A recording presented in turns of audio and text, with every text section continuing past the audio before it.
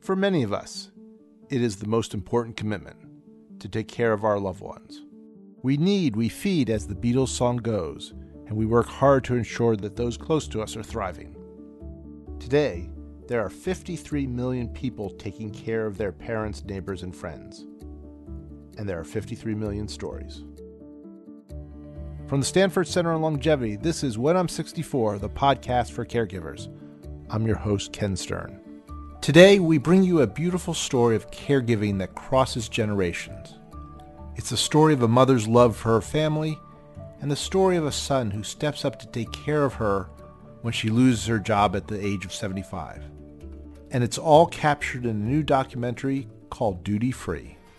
Rebecca worked in housekeeping at a hotel here in Boston. She was a single mom who sacrificed everything for her children. I never expected it to happen to me. My job and my kids with my life. People from around the world were touched by my mom's story and started to reach out. Hello from Sri Lanka. Sri Lanka. I think it's so great what you are doing. I can't wait to catch up with all your adventures. I hope you make it to Sri Lanka one day. We'll take you to swim with dolphins. sounds like fun. Bye. sounds like fun. I was just fired at 53 years old, Ah. and I'm following your footsteps and doing things that I've always wanted to do. Thank you. You are inspiring and beautiful. Right back. Good luck. Good luck with you on your travels. Stay in touch. What became evident as we went through the comments was how many people or people's parents had been let go late in life. Some were forced to retire, and others were terminated on account of charges they say never actually happened. My mom's story was more universal than we could have ever imagined. That's filmmaker Sian-Pierre Regis, heard here in an excerpt of the documentary he directed and produced. Sian-Pierre and his mother Rebecca join me to talk about their amazing journey. I am a 36 year old uh, former journalist and uh, who just completed my first feature documentary film called Duty Free. Um, and, you know, follows the story of my mom who was fired from her job at age 75 as a hotel housekeeper. And so we go on a bucket list journey to do everything she could never do while she was working, but she's trying to get back on her feet.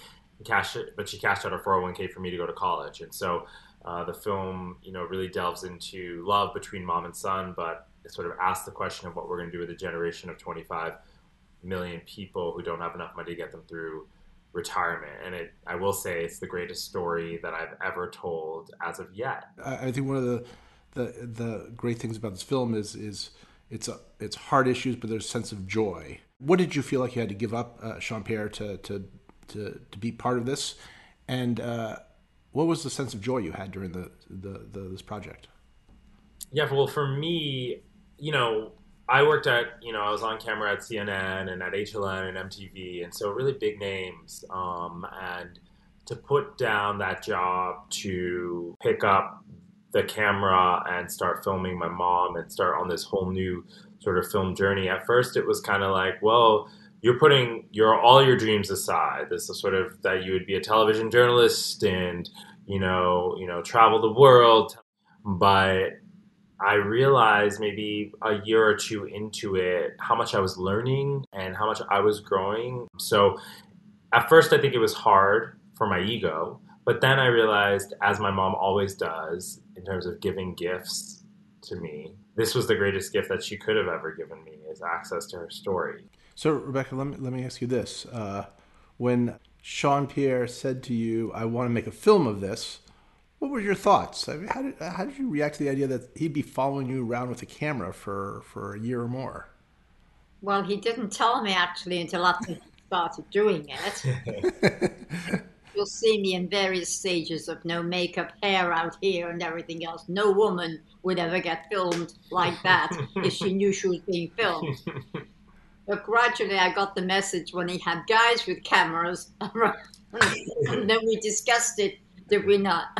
but it was fun. Re- Rebecca, uh, was there a loss of identity? I mean, there was obviously a, a big challenge to you in the film around losing your job and not having work. I mean, work defines so many of our lives. all the all the uh, employees and everything they were my close family my, i mean i my son the one that's mentally disabled lived downstairs but all my family's in england but the room attendants and the housemen and all the people, I miss them. It wasn't losing the job.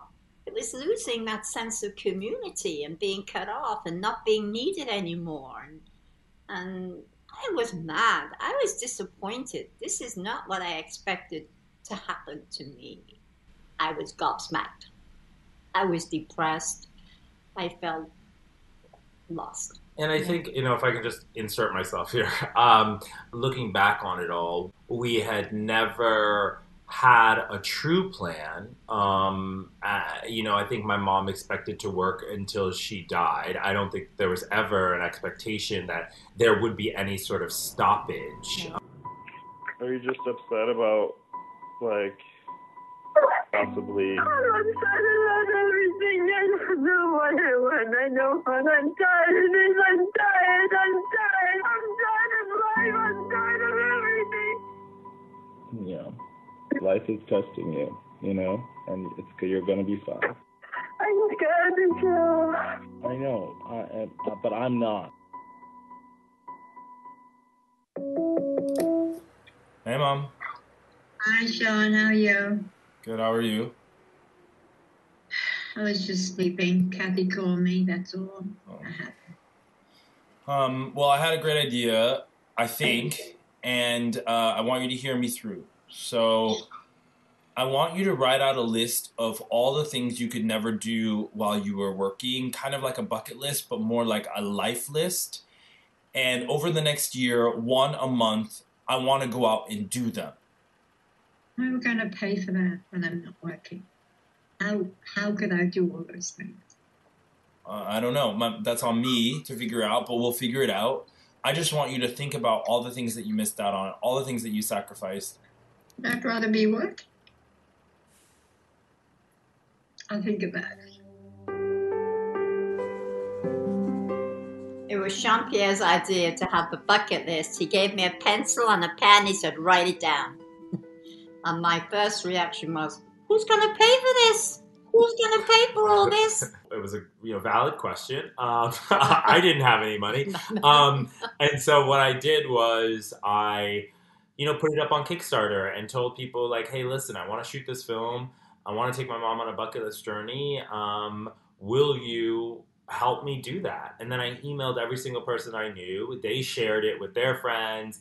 You know, our trailer went viral and it got 38 million views. And so we started to get all of these donations from all across the world who wanted to help support this story of my mom. Um, and a lot of those people became sort of fans. Um, for years and years and years. Um, and so we were able to build a really beautiful community of people who wanted to see this story through. Um, and, and also, in the meantime, heard from people around the world Oh. whose stories reflected my mom's own stories. And that urged me on to say, me. okay, why aren't we seeing these people in our narratives? Like, this makes it even more important for me to finish this film because, you know, as I've realized, if you're over 70, it's like you are not seeing yourself on the screen. And if you are seeing yourself on the screen, you're not seeing yourself in the lived reality that you experience every day. And why not? Um, and so that's how the Kickstarter came about. Um, and uh, it, it really put fire under my bum to, to tell this story. And one of the first items on Rebecca's bucket list was to learn how to hip hop. Hip hop dancing, I loved it, but I was surprised that that was the one thing you wanted to do. The thing about having biracial children is that you can promote them and bring them up the way that that you were brought up. And you can show them things and let them experience things. But you can't be inside them to experience the things that they're experiencing. And I've seen you dancing and doing different videos and stuff like that. And I always thought you look so happy and so relaxed, and it's it's so natural, almost like you have the beat of the bongo in your feet. I want to share that feeling. Let's see your best hip hop move. I don't know what a hip hop move is. Another item on Rebecca's bucket list milking a cow. Hi, I'm calling to see if it's possible to milk a cow with my 75 year old mom on your farm. I was calling to see whether you guys allow people to milk cows there. Yeah, we actually don't have any dairy cows here at this time, so there's Oh. no milking. Can people come and milk cows on your farm? No, no, you can observe. Got it, but you can't actually touch a cow's udder. No, Do you know of any farms that do do that? I'm afraid I don't. Okay? Thanshe wants so much. She wants to milk a cow, she'll get to milk a cow. All right. Okay, cool.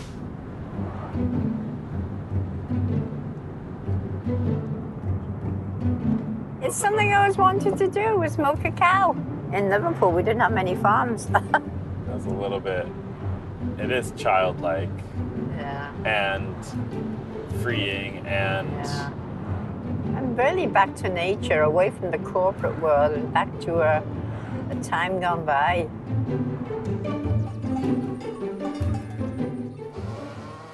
Also on Rebecca's bucket list, skydiving. And then there was the brave person that talked about the uh, the, the, the skydiving. Several people, all old people, who are no longer living. Many of them. Not from the skydiving, I hope. no, he did it as a last thing, I guess, and I suggest it is the last thing you do. Not something I would advocate again. Here we come, sky and earth. This could be the last time you use your legs. So. That's right. Enjoy them. They were good old pedal Yeah, lads good, too. good, weren't they? They registered 14 miles a day on the pedometer at work. Just breathe, Mom. Just breathe. Yeah, yeah. Good. You get that in here. Got it here. Perfect. All right.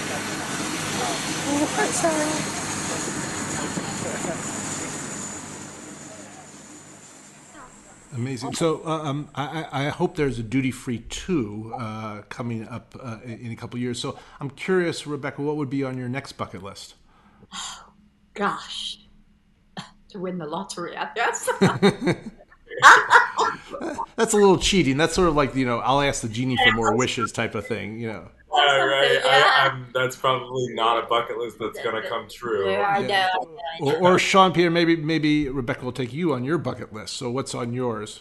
I, I'm really advocating That's for what you're that. saying, I'm yeah. like, well, yeah, now it's my turn after I've, you know, given this five years. Like, now it's my turn. But I don't, yeah, I don't know. We'll see. As for duty free too, so many people have asked about that. So many. And especially since we're living together now, it's like, tape it, you know, what is going on? And while I totally see the value in that, um, I am now at a point now where it's like, gosh, I just want to like l- live and exist with my mom and like capture the memories in my mind and like be there fully to experience her um, versus always having a camera in my hands and thinking more as a director um, you know now's the time we did that you know now's the time for us to you know deepen our bond and, and create lasting memories that that maybe aren't always caught on camera uh, but that we share together and, and work together to create situations for elders.